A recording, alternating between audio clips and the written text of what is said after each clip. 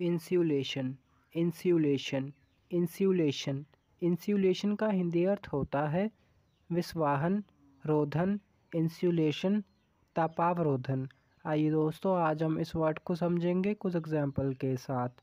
The entire wire is then coated with an insulation इसका हिंदी अर्थ होता है, फिर पूरे तार को एक इंसुलेशन के साथ लेपित किया जाता है।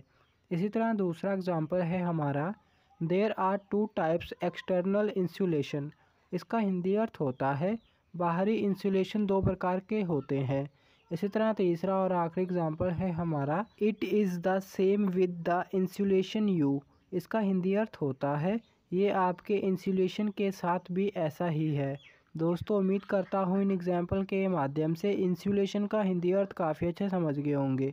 दोस्तों, ऐसे ही अंग्रेज़ी शब्दों को हिंदी में समझने के लिए आप हमारे इस यूट्यूब चैनल को सब्सक्राइब भी कर सकते हैं। धन्यवाद।